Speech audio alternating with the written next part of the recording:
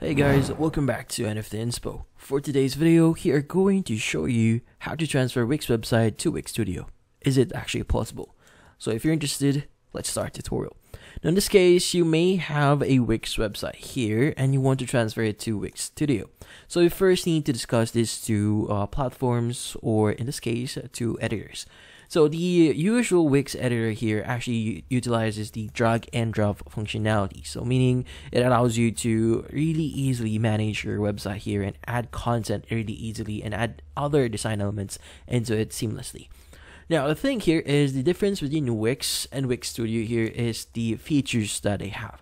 So Wix, uh, think of Wix as the, or the Wix website here is going to be the default one. It's the more friendly way of actually building your website. So if you don't have any coding skills, you could easily create your website via the Wix editor here. But if you're going to use Wix Studio here, it's mostly used for developers or freelancers working to work for a client. Now, in this case, if you've previously built a website in Wix and you want or you want to actually transfer it to Wix Studio, we first need to discuss uh, that the following platforms are quite different. So the features that Wix offers here is very different with Wix Studio. It, Wix Studio has more advanced features, and Wix here is built or kind of built differently. So if you're trying to transfer it to Wix Studio, then unfortunately it is not possible. So uh, this is from a article from Wix support themselves. So currently they have this article here that says Wix editor rebuild your site in Studio Editor.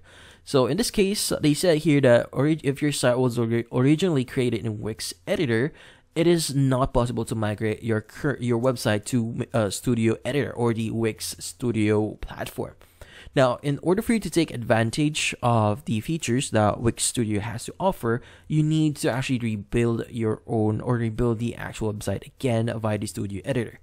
So in this case, uh, currently that is the only way for you to transfer your Wix website to Wix Studio.